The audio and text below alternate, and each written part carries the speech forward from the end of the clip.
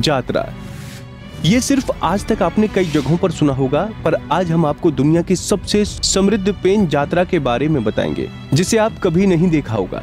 वैसे तो आदिवासियों की सांस्कृतिक महत्व किसी से नहीं छुपा है और आदिवासियों को प्रकृति पूजक भी कहा जाता है, और इसके सबसे गुरु कुपार लिंगों को माना जाता है, जो प्रकृति व्यवस्था को दुनिया को सामने लाए। गोंड आदिवासी परंपरा में पारी, कुपार लिंगों को प्रथम प्राकृतिक वैज्ञानिक माना जाता है। उन्हें संगीत के जनक के रूप में भी याद किया जाता है। पारी, कुपार लिंगों के इस यात्रा में तैतीस आदिवासी समुदाय के लोगों को अंगा पेन, नेवता के अनुसार आमंत्रित किया जाता है। इस आयोजन में महाराष्ट्र, आंध्र प्रदेश, तेलंगाना उड़ीसा और मध्य प्रदेश आदि राज्यों से बड़ी संख्या में आदिवासी जुटते हैं, जिसमें बड़ी संख्या में महिलाएँ होती हैं प्रकृति को समर्पित इस देव यात्रा में 18 वाद्य यंत्रों के ताल में एंदना डाका और गुरुलिंगो पेन का अद्भुत पेन, करसाइड आकर्षण का केंद्र होता है। यात्रा के मौके पर जब लिंगों को उनके स्थान से उठाया जाता है तो कच्चे बांसों के झुंड को आपस में टकराया जाता है, जिससे एक खास प्रकार की ध्वनि निकलती है, जिसे झाटी कहते हैं। मान्यता है कि देव को उठाने के लिए पाँच लोगों का चयन देव खुद करते हैं। इसके लिए वो इनके शरीर में आते हैं। ऐसे लोगों में से एक व्यक्ति तीर कमान, दूसरा तलवार, तीसरा गुड्डे, चौथा छत्तर लेकर सामने सामने चलते हैं। ये दृश्य बड़ा मनमोहक होता है। वाद्य यंत्रों की सुरीली धुन से जंगल खिल उठता है। पहांदी, पारी, कोपार, लिंगो करसाड़ व देव यात्रा प्रत्येक तीन वर्ष के बाद चौथा वर्ष में आयोजित किया जाता है। हालाँकि आदिवासी बुज़ुर्ग बताते हैं कि 50 साल पूर्व ये यात्रा 12 साल में एक बार होता था। इसके पीछे मान्यता ये थी कि 12 साल बाद बाँस के पुल खिलते हैं, जो बारिश नहीं होने का प्रतीक था।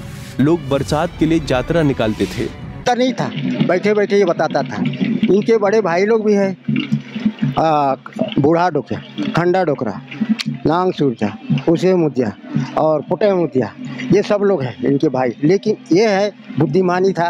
ये बैठे बैठे सारा काम को ये है क्या क्या क्या क्या नाम कहते हैं इसको? लिंगो देवी बोलते हैं। लिंगो देवी। लिंगो देवी। ये सबसे छोटा है। तो छोटा के साथ एक वाहन भी है। वो है कोहला कुछ का। वो कोहला कुछ वो कांकेर क्षेत्र में है। अलग अलग स्थान में सब विराजमान है। तो अच्छा, इस तरह की यात्रा और कहाँ कहाँ पे होता है? इस तरह की यात्रा जो है ना बारह साल में काना हो रहा गरांजी में होता है।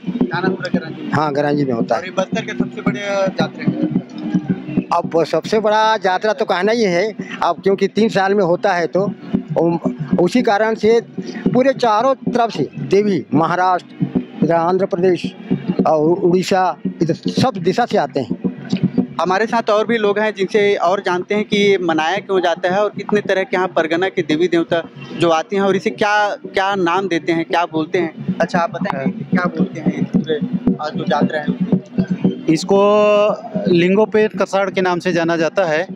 यहाँ पर तीन, हर चौथे साल में मतलब अभी आयोजन यहाँ पर किया जाता है। इस आयोजन का मुख्य उद्देश्य है कि क्षेत्र की सुख समृद्धि के लिए मतलब यहाँ पर किसी प्रकार की आपत्ति मत हो, क्षेत्र में और पूरे राष्ट्र में मतलब सुख समृद्धि हो, लोग संपन्न हो, इसी उद्देश्य की पूर्ति के लिए। साथ ही साथ यहाँ पर जो हमारा आदिवासी जो संस्कृति है, उस संस्कृति को बखूबी मतलब बनाए रखने के लिए और जो संस्कृति में आदिवासी संस्कृति में ये कहा जाता है कि जितने भी जो वाद्य यंत्र हैं, ढोल है, मांदर है इनके जनक मतलब लिंगो ही हैं। लिंगो के ही द्वारा बताया गया है। जी मतलब हमारे आदिवासी जो व्यवस्था में टोटम व्यवस्था है प्रत्येक गोत्र में मतलब एक टोटम चिन्ह होता है एक वनस्पति होता है एक पशु होता है। मतलब उसको हम संरक्षण करते हैं। इस तरह से हमारे जितने भी गोत्र व्यवस्था है उस तरह प्रकृति का संरक्षण भी करते हैं और संरक्षण करने का काम करते हैं। मतलब वैज्ञानिक पद्धति के अनुसार जैसे आ, क्या बोलते हैं एक पर्यावरण को संतुलित करने का काम किया जाता है। ये थे जो गोठुल यहाँ पे जो तमाम तरह की जो व्यवस्थाएँ इन्होंने बताई हैं जो प्राकृति के आदि शक्ति जो लिंगो देवता जिसके कहा जाता है इसे प्राकृति की जो है एक पूजा कहा जाता है और सबसे इस यात्रा में शामिल होने वाले लोग अपना राशन पानी लेकर आते हैं। यात्रा क्षेत्र में पुलिस या हथियार से लैस या किसी भी प्रकार की वर्दी पहने व्यक्ति का आना प्रतिबंधित होता है। अगर कोई आना चाहे तो उसे सामान्य कपड़ों में आने की अनुमति दी जाती है।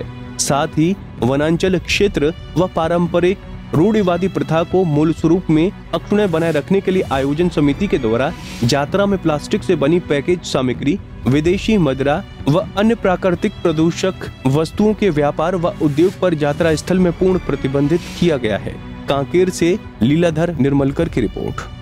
हमसे जुड़े रहने के लिए हमारे YouTube चैनल को सब्सक्राइब करें और नई वीडियो की नोटिफिकेशन के लिए बेल आइकॉन को दबाएँ। अगर आप ये वीडियो Facebook पर देख रहे हैं तो लाइक ज़रूर करें और ज़्यादा से ज़्यादा शेयर करें। धन्यवाद।